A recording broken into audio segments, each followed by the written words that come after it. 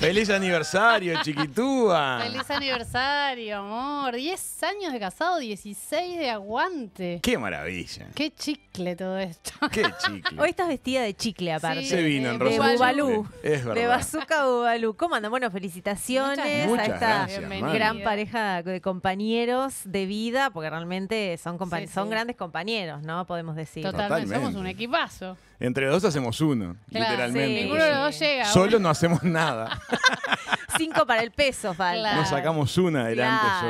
solo. Bueno, nos ¿cómo festejaron? ¿Qué hicieron? Cuenten. Nada. No, como te conté ayer, el domingo, el Ah. diciembre me está atropellando, como Sí. me está llevando la ola, todo, estoy comiendo arena. Todo, Ah, todo bueno, junto. completo. Sí, sí, te revolcó la bala. No, Sí. pero vamos a mm, celebrar más adelante. Ah, me parece muy, una decisión muy, muy bien. ¿Cuál muy es el día del aniversario, Manu? ¿El día que la gente pasa por el registro civil o el día que la gente Ah, mira. celebra con toda su comunidad de amigos? Si me preguntas a mí, yo, para mí es el día de la fiesta. Exactamente, chiquitúa. para mí- Es el día de la fiesta. No llegó el mí. aniversario todavía. Para mí, aparte, ustedes me creen si yo no tengo, yo no sé qué día eh, fue el de nuestra unión con Santi, por ejemplo. No tenemos No tiene una aniversario. jornada. Ah, la No, pueden no. designar. No, tenemos, claro, no claro, tenemos un día de feliz aniversario. Cero. No, no sabemos. Realmente yo no me acuerdo muy bien. Yo una vez Eh, le asigné el cumpleaños a la mascota, por ejemplo. No teníamos Ah. claro cuándo había llegado y directamente elegimos un día que se celebra. Chau. Está muy buena idea. Lo voy a charlar hoy a claro, la noche. puede ser un sí. tema de conversación. Santi, tenemos una charla. hoy. Tenemos que hablar. Más o menos, hablar. el mes más o menos, ¿te acordás? Eh, bueno, es que en realidad, viste que uno no es que Ah, se pone eso. de novio enseguida. No, Claro. porque fue como bueno. En Primer fue- contacto bucal, Me acuerdo. ¿no? ¿No, te, ¿no califica? No, mejor no, porque fue un amor de verano en un principio, entonces Ah, no, no estaba muy definido, no tampoco. Pero después fue en julio del Mundial del 2014. Bueno, ahí tenés una pista, ahí tenés una tengo una pista, como Julio. del 15 primer de julio. acercamiento, si querés. 15 de julio le pegas en la mitad. Ya está. Sí, no, no. pues, yo lo, lo correría para los primeros días porque te agarra con el sueldo jugoso. Está bueno, ¿viste? perfecto. 7 Te de agarra con el julio. sueldo jugoso, entonces podés hacer un regalito. Excelente, ¿no? excelente. Bueno, ¿qué hicieron? ¿Ustedes se levantaron y feliz día? Fe- ¿Cómo No. es una celebración de aniversario? Hoy no fue así. Hoy no, fue así. Justo hoy tuvimos que levantarnos disociados. ¿Pero Arrancamos. no fue ayer? Sí, estamos Sí, en ese debate, por- ponele- por eso la pregunta. Hoy Por estamos en el jamón del sanguchito, Claro, sería, más ¿no? o Porque es menos. como... Porque Ponele ayer que se sea casaron. mañana, así que mañana espero tremenda Mañana, fiesta. ahí Desayuno por lo menos Bien. en la cama. O sea que Mañana fue, gran un- desayuno fue una felicitación, fue un posteo de Instagram de Hermoso ambos. posteo con, hermoso con posteo. repercusión. Muy Yo hacía lindo. mucho que no posteaba en Instagram. Ni me sos- acordaba cómo se Vos sos de posteaba. esos, viste, como el, como el meme de Britney que mira por la ventana. Aparezco de golpe. Sos, como que mirás, mirás, pero nunca, nunca, No, nunca le perdí, le colaborás. perdí el hábito. En una época estaba, estaba muy activo. Ahora lo estoy, lo estoy Lo estás haciendo abandonando, menos. sí. Bueno, le- tenés que volver. le- sí, le- ¿te parece que soy un usuario eficaz? Yo creo que en sí, claro. ¿Por qué no? tenés mucho No para te- No aportar. te autocritiques antes de publicar. Bueno, capaz que les empiezo a postear algunas Dale, me encanta. Bueno, muy bien. Este, vamos a algunas noticias que tenemos de que todas lo que más partes. te gusta. Esto es lindo. sí, claro A mí me gusta también, Esto es- debo eh, decir. Hay algo muy pintoresco. Bueno, sabemos que se está celebrando en Dubái esta gran cumbre de- de- de- respecto del cambio climático, la COP28. 28 copas. 200 países representados. Sí. Se juega mucho de las políticas futuras de este tema. Eh, la cuestión es que las conversaciones desde ayer están girando alrededor de un tema que me parece glorioso. ¿Cuál? ¿Cuál? Hay tres frases que las voy a mencionar. Una de ellas va a ser seguramente la frase elegida para la declaración final. A ver. Y en esto están los debates. Frase 1. Sí. Hay que ver si se habla de eliminación gradual de los combustibles fósiles. Bien. Frase Sí. 2. Reducción rápida del uso de combustibles fósiles. ¿Eh? O sea, no es gradual. Es muy parecida. Pero Sí. frase 3. Acelerar los esfuerzos para eliminar gradualmente Es un Ay, el uso de ahí combustibles tenés un mix. Bueno, la cuestión es que en este asunto se están yendo horas y horas de charla. Porque, ¿qué es lo que Es pasa? como el cuento de la buena pipa. Es el cuento de la buena pipa ¿No? tal Sí. cual. Pero ¿qué es lo que sucede? De estas frases, de cuál termine siendo la frase de consenso entre los 200 participantes de- del evento, las consecuencias jurídicas y las consecuencias económicas que van a venir atrás son enormes. Es curiosísimo. O sea el que no están, lo, están diciendo algo que en realidad trae mucha cola. Muchísima cola. Y no lo En esas ocho palabras va Sí. la- se juega el asunto de cómo va a ser que cada uno de los países industrializados o en vías de industrializa- de industrialización tienen que ir llevando adelante su proceso de este, volverse amigables con el medio ambiente en cuánto tiempo, Sí. en qué prioridades. Parece ser que cada una de estas frases dispara como toda una cadena de consecuencias. Y en esto está la charla. Yo es tengo hermoso. Una pregunta. A ¿Estos ver. tipos de cumbres, o Sí. sea, después se firman acuerdos Claro. reales Claro. que se Claro. cumplen o es tipo toda una cosa que, porque digo, se, se invierte mucho dinero Te digo en qué va. hacer estas ¿Sabes cuál es la clave del asunto? reuniones? Se invierte muchísimo dinero, ahí están miles que de valga la personas pena, alrededor. ¿no? Se firman muchos documentos y hay gente que te va a decir, firman pero después no cumplen. ¿Mm? Sí, pero el tema está en que atrás de esos documentos va la financiación de los bancos.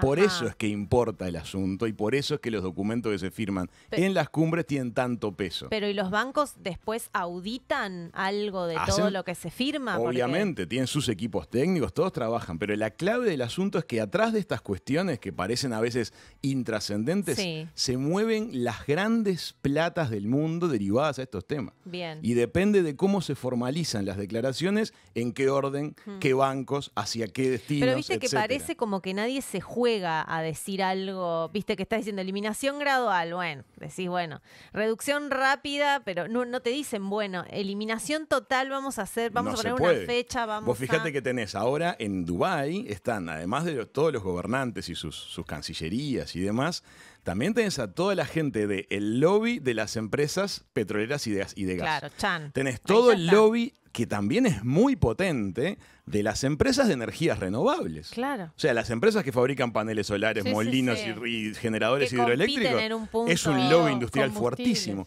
Y además están los activistas. Entonces, todo tiene que quedar lo más feliz posible, hay que congeniar todas las miradas. Bueno, Muy bien.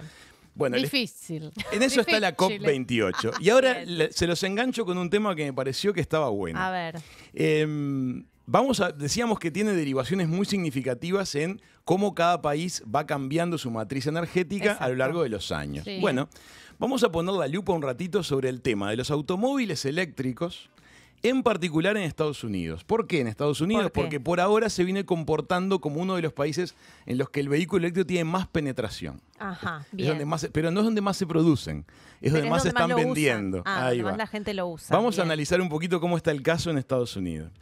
Según dicen, la cosa viene así. No van a ser ni los políticos, ni los reguladores energéticos, ni los fabricantes de autos los que le digan a la gente cuándo pasarse a los vehículos eléctricos. ¿Y quién va a Básicamente lo decide la gente Ajá. en función de su bolsillo. Ok, o sea, depende de lo que valga el vehículo que vos te quieras comprar. En gran medida sí. Fíjate lo que está pasando. Este, los vehículos eléctricos 100%, puramente eléctricos, Sí. En general están por arriba de una barrera de 50 mil dólares.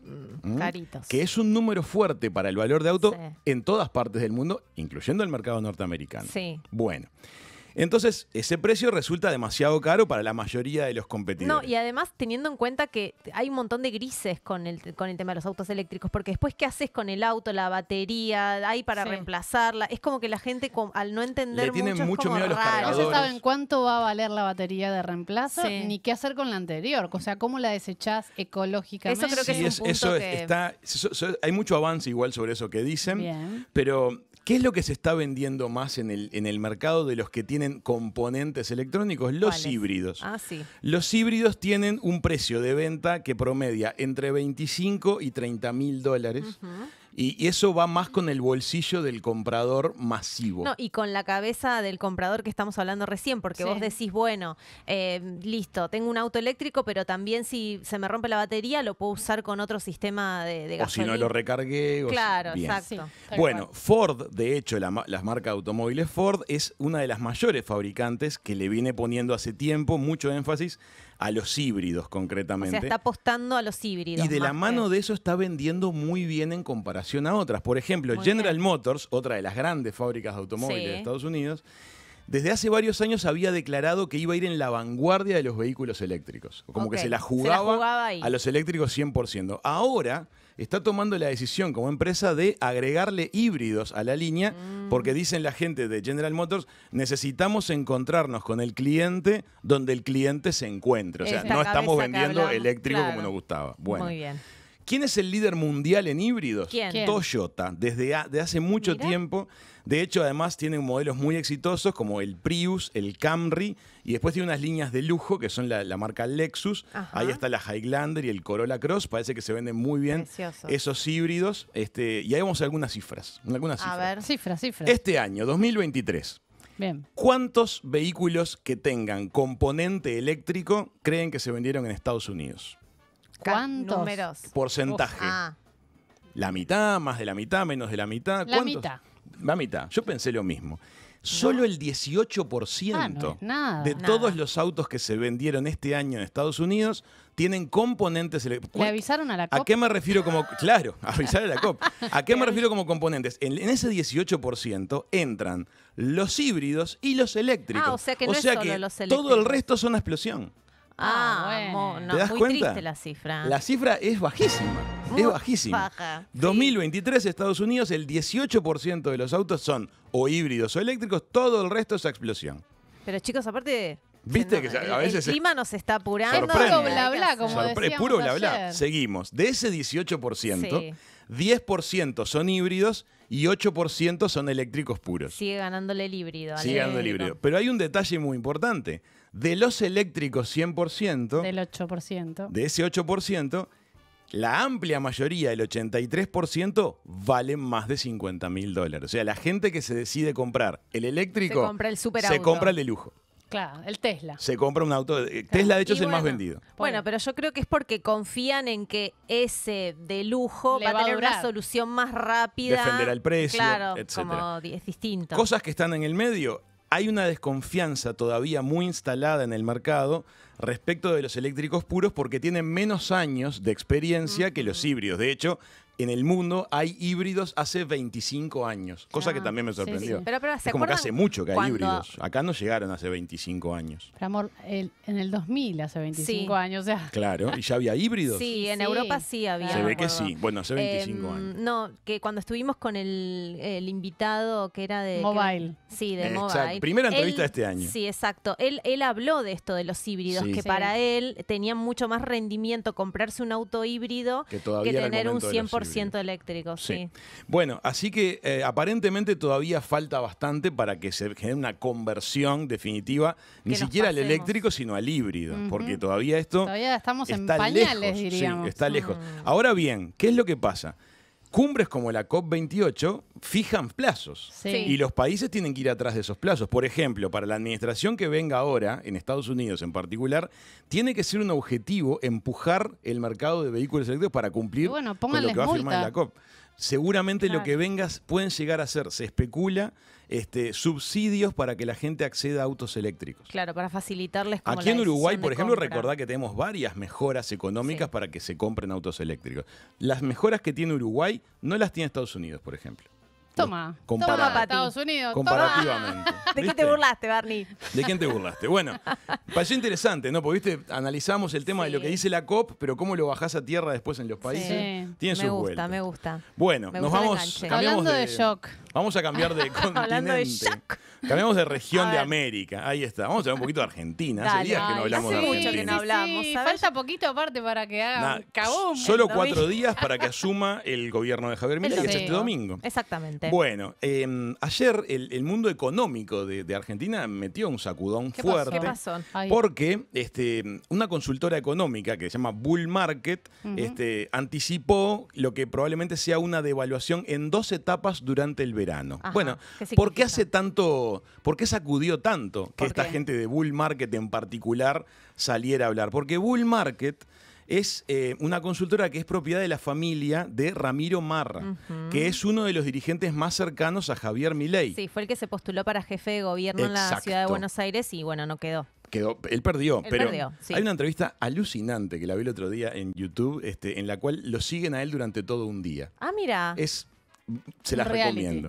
Se las recomiendo. Sí, sí, sí. Bueno, este, la cuestión es que cada vez que Bull Market habla, este, se sacude el mercado porque se siente que puede ser como una ventanita de que acceso tenga información. Claro, Claro. está cerca del interna. al gobierno. equipo económico de Milei. Entonces, ese informe dice que el ministro de Economía, Caputo, que ya se ha Sí, asignado, sí, sí. tendría una gestión breve Este, Sí, eh, para lograr sanear el Banco Central, que tiene un balance negativo de 23 mil millones de dólares.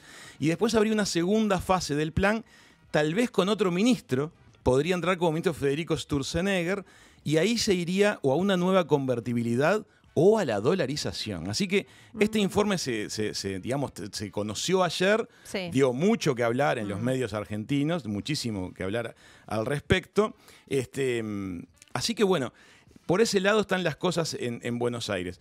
Habría como, según dicen, hay, hay como dos sectores en los economistas que están dentro del gobierno próximo de, de Milei. Sí, porque además es un gobierno, o sea, ganó mi ley, pero en realidad está... Es un ensamble eh, es, ahora. una, es una especie de ensamble, no se entiende muy bien con, con con Juntos por el parte de Cambio. Juntos por el Cambio. Bueno, ¿qué es lo que pasa? Aparentemente habría como dos corrientes en la interna del actual, digamos, grupo de gobierno.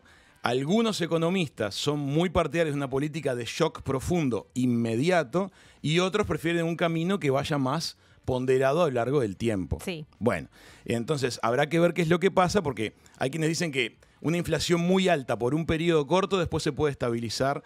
Hay otros que dicen que una inflación demasiado alta, aunque el periodo sea corto, puede llevar a estallidos sociales muy fuertes y que se desgaste rápidamente el nuevo Sí, gobierno. Igual la promesa de campaña de Javier Milei, recordemos que era que el ajuste no lo iba a pagar la gente, Se que lo iba a pagar la política. Entonces, creo que lo que estamos todos esperando es saber qué es lo que pasa el 11 de diciembre, porque, según, anuncios, porque según las medidas que él tome, ahí se va a ver realmente hacia dónde va el ajuste, que recordemos que la gente, los argentinos hace muchos, mucho tiempo que están viendo con una inflación muy alta. y está viendo estos días mucha remarcación Mucha en remarcación de precios, Sí. ya se eliminaron los precios cuidados. Bueno, se está como yendo a una política más de, lib- de libertad, como, como ellos en campaña bien lo dijeron, pero bueno, hay que ver ese, ese ajuste que dicen que es tan necesario hacer, a es.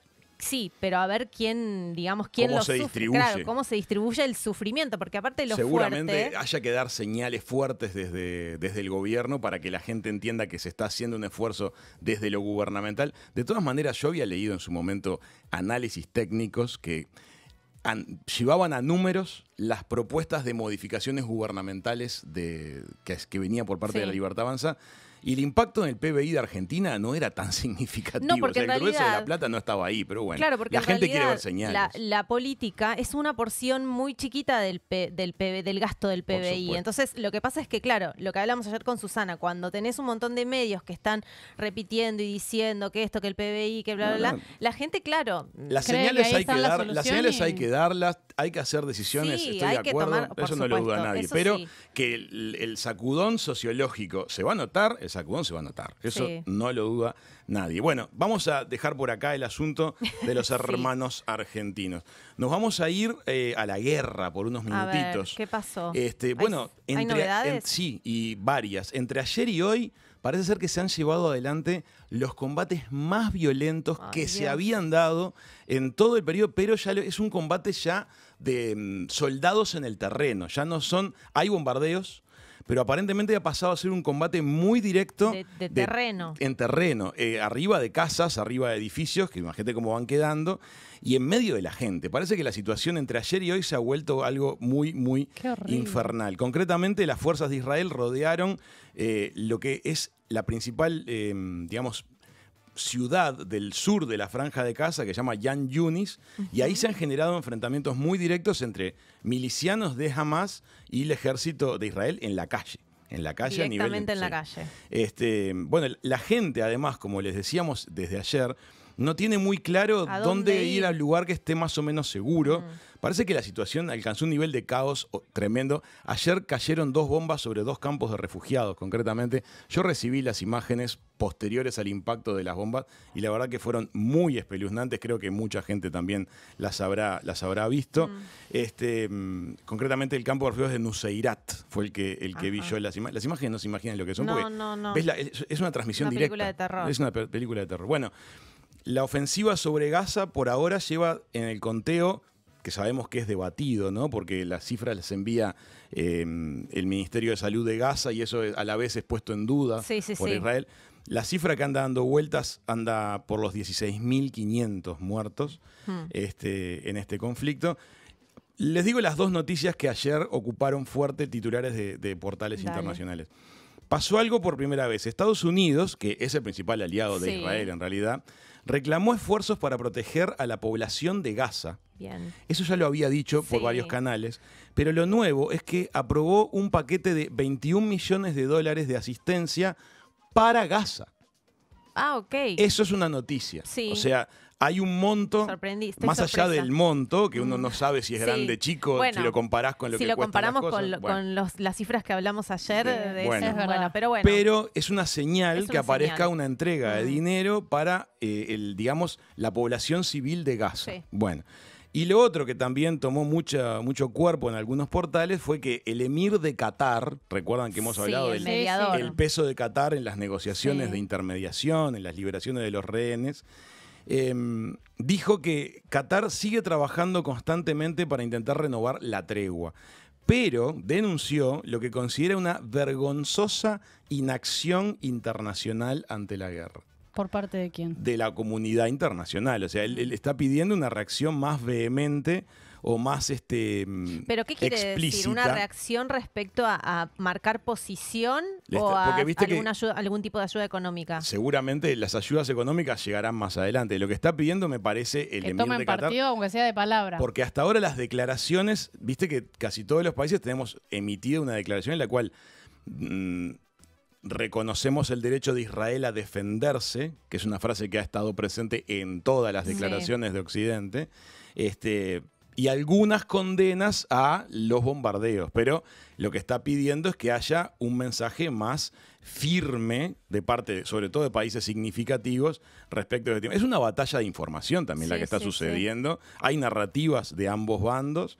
Así que, bueno, eso es lo que Esas las quería contar Estamos de en la el guerra. 095015353. Cuéntenme, háblenme que les voy a responder hoy. Muy bien, Y hoy estás con el teléfono. Sí, y ustedes cuéntenme qué vamos a tener hoy. Bueno, hoy vamos a recibir acá en el programa un periodista que tiene una mirada muy aguda, muy filosa sobre un montón de temas. A él, de hecho, este, le atrae comentar, pensar y reflexionar sobre temas que son incómodos, temas que le duelen Ajá. a la sociedad.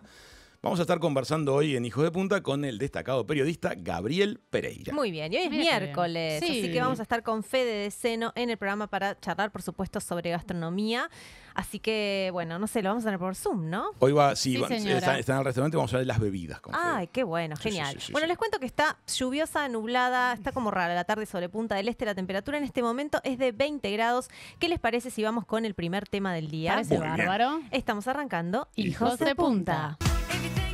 Sophie, eres Baxter haciendo Murder on the Dance Floor aquí en Hijos de Punta cuando son las 2 y 27. Tengo una noticia que seguro que les va a poner contentos. Ay, a ver.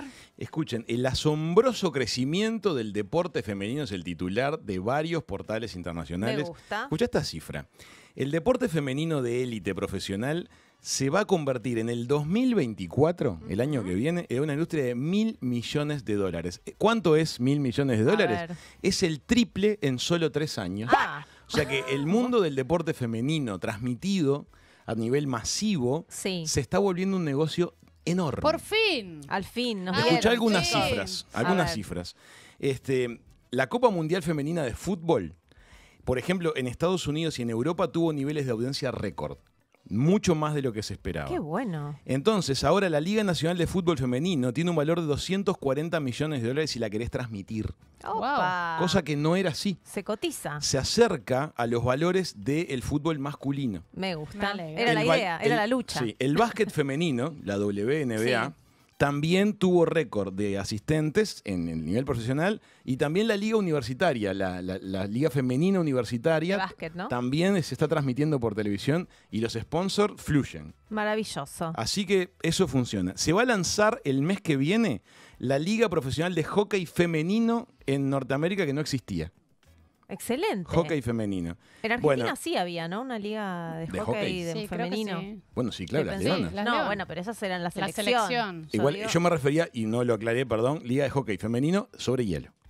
Ah, Me bien. equivoqué. Detalle importante. Dato, dato muy Ah, importante. no. Otro deporte. Bueno, pero mira lo que dice la gente de mm, los analistas económicos de CNN dicen, todos los mercados de capitales están de acuerdo, los inversores están de acuerdo.